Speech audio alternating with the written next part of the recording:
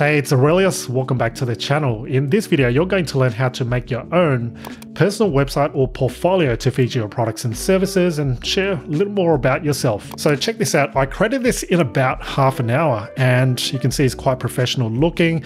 And the best part about it is that it required zero skills, zero knowledge about how to make a website and of course, zero code. I've got my hero image and headline right here. I feature my courses and workshops here and I've got this Instagram feed going on as well as featuring some of my YouTube videos. And I'll show you how to make a website just like this step by step in this tutorial. If you don't have a website yet, I urge you to start one today because for the simple fact that you don't want to put all your eggs in one basket, meaning you don't want to build just on Instagram or just on YouTube. You want to be able to diversify and control what you actually own. So therefore, a website is so crucial in that aspect. And not only that, with a website, you look more professional in the eyes of your audience and potential clients and customers. While everyone else is building on social media, you can stand out with your own personal website. So with that said, let's go ahead. We're going to grab our favorite beverage. We are going to grab our mouse or trackpad because it's simply going to take a few clicks of your mouse button. All right, so the very first thing you're going to need is web hosting. Simply put, web hosting is a place, it's a data center where your website is hosted so that the whole world can see. And the web host that I recommend is called Hostinger. Hosting is an all-in-one solution, especially if you're a beginner. It not only is a place where you can host your website, but with Hostinger, it allows you to use its drag and drop website builder to build your website really quickly and easily. Their pricing and plans are very affordable and they always have promotions going on, but the plan that I recommend you go with is premium web hosting. The reason why is because you're able to host up to 100 websites. So let's say after building one, you've got this other great business idea and you want to start that again, you can host it on the same account too. You also get a free domain name. So if you want to look professional in the eyes of your audience, you want to make sure you grab your own domain name. So for instance, my domain name is aureliustjin.com and this is great for branding too. So it'll be yourname.com or whatever extension you'd like, but we'll go through that in this tutorial tutorial too. You'll also be able to create up to 100 email addresses, making it look professional. So it could be hello at yourdomain.com. And in terms of building your website, you can build a fully blown WordPress website and it's all managed. So it's optimized for WordPress or you can use Hostinger's website builder. Whichever way, you'll be able to build the kind of website you want to build. So to start, grab your premium web hosting by clicking on add to cart. Choose a period you can pay on a monthly basis, every 12 months, 24 months, or 48 months. Obviously, the higher your period, the cheaper it gets. But let's say you want to go with 24 months, scroll down, and when you check out, you can actually add another coupon that will give an additional discount. If you click on have a coupon, click that once and then enter coupon code Aurelius and apply it. And this is something I arrange with Hostinger for subscribers and viewers only. After you've applied it, it should take effect that coupon right there. So for this amount, you're getting 24 months or two years of web hosting, which is really, really affordable. Complete the rest of the details and check out. After that, you'll go through the process of setting up your website. So the first step is this. You can click on start now to follow the guided setup. And hey, it's going to ask you, do you want to create or migrate a website? We are going to create a new website in this tutorial. So we'll select this. Next, select a platform to start with. You can use Hostinger website builder. It's really beginner friendly, easy to use. I try this and the website that you saw I created earlier on is the exact website platform that I used. And yes, by going this route, you'll still be able to sell your products and services. As you can see, it includes an e-commerce solution. You can also set up your website using WordPress. It does require a little more experience in my opinion, but if you do want to learn how to set up your website using WordPress and with Hostinger specifically, I do have another tutorial. Links will be in the description box below. But in this video, I'm going to go the easy route and use hosting as a website builder. But I don't want to hype it up, but it really is drag and drop friendly. I've used many platforms before, but this is one of the easiest website builders I've ever used. All right, so we're going to select Hostinger Builder. Next, you're going to name your website, or in other words, get a domain name. Because you signed up for premium web hosting, you get your first year of domain registration for free.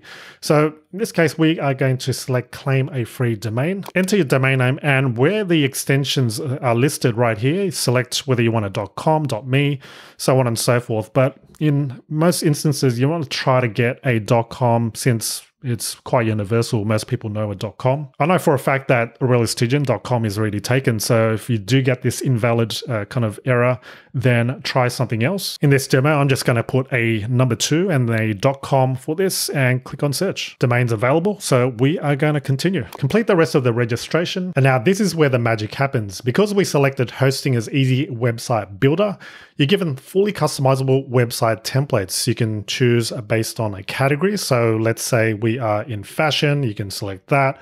You can, if you're in marketing, you can select one of these e-commerce, one of these as well. So there's a range of categories as you can see based on your industry or niche. But what we're going to do is select marketing and under marketing, you've got quite a few of these marketing based landing pages and templates. Before you select a template, you can always preview it by hovering over, selecting preview. And this is an example personal brand website. It's also mobile friendly. As you can see, this is what it looks like on a tablet and also on mobile devices. So go ahead and select the template that's right for you. But in this video, I'm going to show you how to customize this particular template. And right off the bat, it's created the template for us. It's created the website and the sections and elements, and we've got the logo and navigation. So there's zero work in terms of putting all this together from scratch. All we really need to do is to replace what's existing, perhaps changing the brand colors to match our brand. When you first build your website, you will be guided in several steps. So it'll show you what this on the left is and this on the right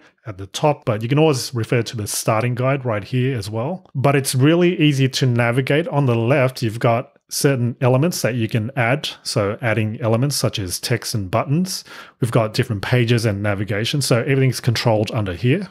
You've got website styles. This means the colors and also the text and fonts. You've got different button shapes, animations too. If you're planning to start a blog, there's a section called blog where you can publish your latest articles and so on.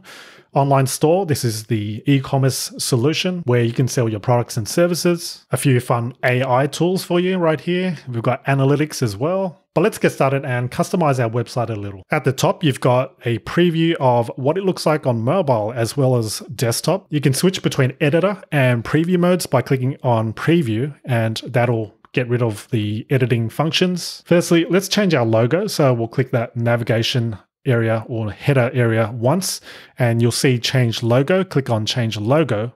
Replace the image by clicking here. Upload our logo file if you have one. So mine's right here and I'll click on open. And now it's inserted. You can fine tune the size of the logo by again selecting the header, going to change logo, and you can change the logo width to make it smaller or bigger. But that looks pretty good right there. Next, you can add an image or self-portrait of yourself like this. You don't have to, but uh, if you do want to, you can select that. And if you double click, you can replace the image. But it's really easy to position as well. So if you want to drag it somewhere here, you can. Again, it's drag and drop. So if you want it on the right instead, you can do that while the headline goes on the left.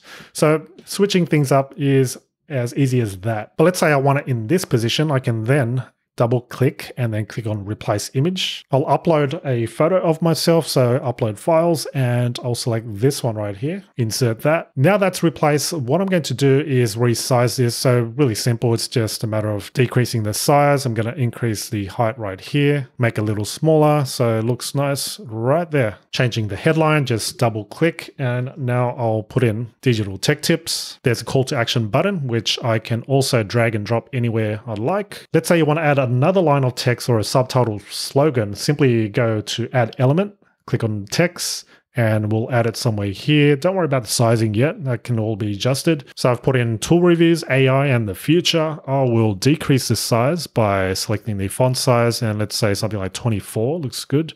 And we'll just drag it somewhere here. Centering this is really easy. Click on edit text. I'll click on alignment to the center and now I can move it right there. And it's great that they have these guides so you know where the center is or left alignment or right alignment. So by following those guides, make things a whole lot easier. Changing the background is as simple as clicking the background and then click on change background. So essentially, if you see something that you want to edit, you just click that and it works in that way. It's intuitive. Again, you can either replace the image or you can use a color instead. Choose a section color by clicking this and then selecting it. If you don't know what your brand colors are just yet, you can kind of come up with one using a color generator tool. Something like colorhunt.co allows you to see some variations and some color palettes that you could very well use for your website and brand. The demo website that I created looks something like this. So I've got some sage color, you know, some light kind of brown color, and this is the palette that I went with. So it gives you these hex codes that you can go with. By clicking once, it copies it to the clipboard. You go back to where you're designing your website, and then where you can see the hex code, you simply paste it in,